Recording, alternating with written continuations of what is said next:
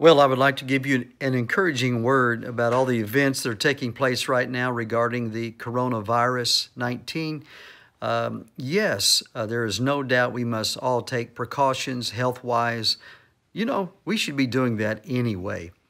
Uh, but I do want to speak to events that are happening at the Church Alive. At this moment, we are going full blast. We want to welcome you this Saturday night 6 p.m., we are going to join the church together and we are going to pray. Whether you join us online or in person, we're going to pray.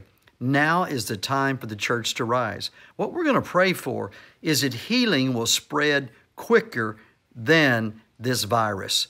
The Lord told us in Luke 10 19, we've got power over all the enemies. So let's take our 19 and apply it to this 19.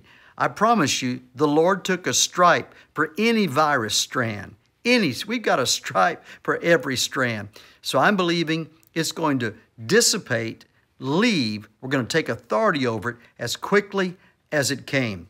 This is the time for the church to arise. We are to be the answer for the world today. So come on, church, let's get together. Join us or join us online at the Church Alive this Saturday night, 6 p.m., and then Sunday at 9:30 a.m we are going to join together and be the glorious church the Lord talked about.